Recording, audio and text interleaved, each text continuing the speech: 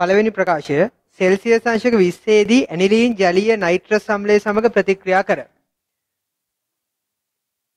ඇනිලීන් Celsius අංශක 10ට වඩා වැඩි උෂ්ණත්වවලදී nitrous අම්ලය එක්ක ප්‍රතික්‍රියා කෙරුවොත් හැදෙන්නේ ෆීනෝල්. අය නයිට්‍රජන් වායුව හැදෙනවා. සෙල්සියස් අංශක 20 දී ඇනිලින් ජලීය නයිට්‍රස් අම්ලය සමග ප්‍රතික්‍රියා කර ෆීනෝල් ලබා දෙන අතර සෙල්සියස් අංශක 20 දී එතිල් ඇමීන්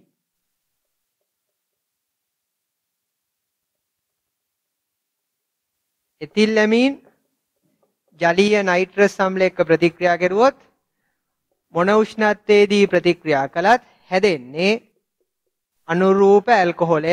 ඒ කියන්නේ මෙතනදී එතනෝල් සහ නයිට්‍රජන් එතකොට පළවෙනි ප්‍රකාශයේ තියෙන්නේ සෙල්සියස් අංශක 20 දී ඇනිලීන් ජලීය නයිට්‍රස් අම්ලය සමග ප්‍රතික්‍රියා කර ෆීනෝල් ලබා දෙන අතර සෙල්සියස් අංශක 20 දී එතිල් ඇමීන් ජලීය නයිට්‍රස් අම්ලය සමග ප්‍රතික්‍රියා කර එතනෝල් ලබා දේ. පළවෙනි ප්‍රකාශය සත්‍ය බව අපිට පැහැදිලි. දෙවෙනි ප්‍රකාශය benzene diazonium chloride ethane diazonium chloride වලට වඩා ස්ථායීය. අපි දන්නවා ඇලිෆැටික ඩයිසෝනියම් අයනයකට වඩා බෙන්සීන් ඩයිසෝනියම් අයන ස්ථායි.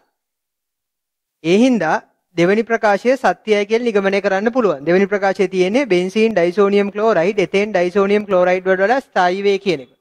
හැබැයි මේ ඇලිෆැටික ඩයිසෝනියම් අයනයක ස්ථායී බවට වඩා බෙන්සීන් ඩයිසෝනියම් අයනයේ ස්ථායී බව වැඩිවීම නිරීක්ෂණය කරන්න පුළුවන් සෙල්සියස් අංශක 10ට අඩු උෂ්ණත්වවලදී පමණයි. සෙල්සියස් අංශක 10ට අඩු උෂ්ණත්වවලදී තමයි බෙන්සීන් ඩයිසෝනියම් අයනය වියෝජනය නොවි ස්ථායීව තියෙන්නේ. සෙල්සියස් අංශක 10ට වැඩි උෂ්ණත්වවලදී බෙන්සීන් ඩයිසෝනියම් අයනයත් වියෝජනය වෙනවා ඇලිෆැටික ඩයිසෝනියම් අයනෙත් වියෝජනය වෙනවා මේ අවස්ථාවේදී ඇනිලීන් ජලීය නයිට්‍රස් අම්ලය සමග ප්‍රතික්‍රියා කරලා ෆීනෝල් සෑදීමටත් එතිල් ඇමීන් ජලීය නයිට්‍රස් අම්ලය එක්ක ප්‍රතික්‍රියා කරලා එතනෝල් සෑදීමටත් හේතුව එතෙන් ඩයිසෝනියම් ක්ලෝරයිඩ් වල ස්ථායි බවට වඩා බෙන්සීන් ඩයිසෝනියම් ක්ලෝරයිඩ් වල ස්ථායි බව වැඩිවීම නෙවෙයි. එනිසා පළවෙනි ප්‍රකාශය දෙවෙනි ප්‍රකාශය මගින් පැහැදිලි වීමක් වෙන්නේ නැහැ.